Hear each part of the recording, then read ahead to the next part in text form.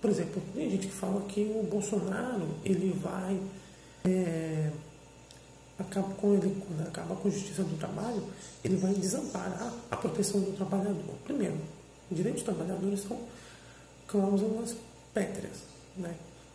Então não tem como é, você é, perder direitos ali. Outra coisa é que alguns países do mundo todo não tem justiça do trabalho. Estados Unidos, Canadá, é, Austrália, por exemplo, não tem. Ah, não tem a justiça do trabalho. Né? E outra coisa, vai ser uma redução de custos. Sim, é, por exemplo, em 2015, a Justiça do Trabalho é, gastou, é, arrecadou 17 bilhões e pagou 8 bilhões de, de indenização, 9 bilhões ali para juiz, para máfia, qualquer coisa, né? Máfia sindical tudo mais. É, então é importante modernizar isso. Por exemplo, no Brasil, 90% da. Aliás, do mundo todo, 90, no mundo todo, 90% da, dos processos trabalhistas estão no Brasil. Isso tem que mudar.